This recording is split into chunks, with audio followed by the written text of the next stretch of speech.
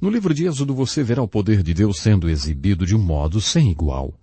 Quando os filhos de Israel são finalmente liberados e alcançam o Mar Vermelho, Faraó tem uma outra mudança no seu coração. Ele rapidamente reúne seu exército e ordena que os persigam. Isso mesmo. Tudo indicava que o exército de Faraó estaria fazendo uma grande matança. Este é um dos lugares na Bíblia em que ela nos mostra que há um tempo que é inconveniente orar. Moisés cai na real. Ele vê a nuvem de poeira do exército de Faraó que está a caminho. Não existe nada atrás dos filhos de Israel, a não ser o mar vermelho, e não existe nada na frente a não ser o exército de Faraó. E o que fazer então? Moisés começa a orar e então Deus diz a ele, Por que você está gritando comigo? Por que você está orando?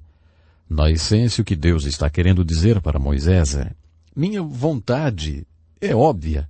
Este não é o tempo para se ter uma reunião de oração. Existe somente uma direção para se ir e essa direção é a água. Então comecem a andar sobre a água. Qualquer pessoa pode ver que esta é a única solução.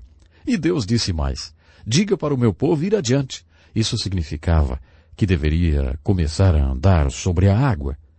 Moisés teve uma grande fé naquela hora.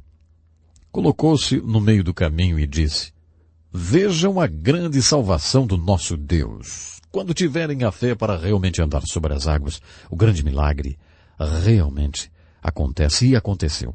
As águas partiram-se e um caminho com grandes muralhas de água em cada lado se formou em pleno mar vermelho. O povo de Israel marchou em chão seco entre as duas muralhas de água. Quando o exército egípcio chegou e perseguiu os filhos de Israel, as muralhas de água foram desfeitas e o exército submergiu nas águas do mar vermelho e foram aniquilados. Quando você se depara com uma história como essa no livro de Êxodo, tem um assunto muito importante para resolver. Você acredita no sobrenatural ou você não acredita no sobrenatural? Eu fico simplesmente pasmado pelas tantas explicações que as pessoas tentam dar para essa história. Alguns dizem que não foi no Mar Vermelho, outros dizem que foi, a água era muito rasa, enfim, existem muitas outras explicações.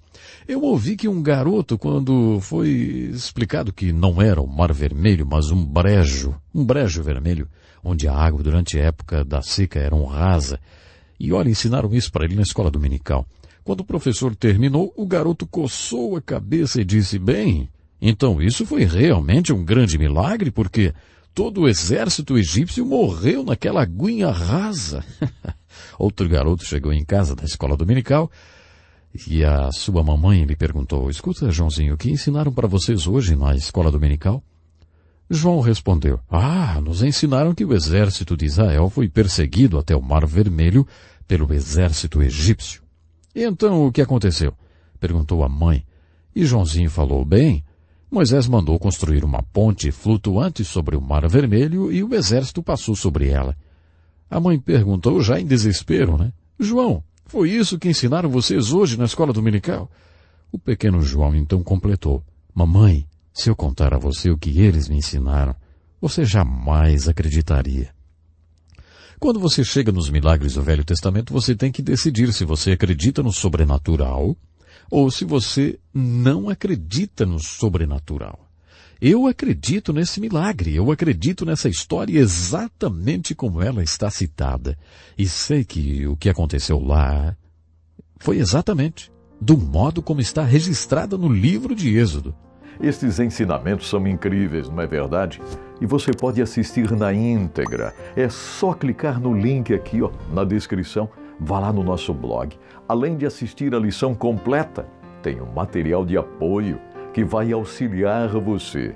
Sabe o que significa isto? Você vai crescer cada vez mais em conhecimento e graça. Então, eu vejo você lá, hein? Vamos ao nosso blog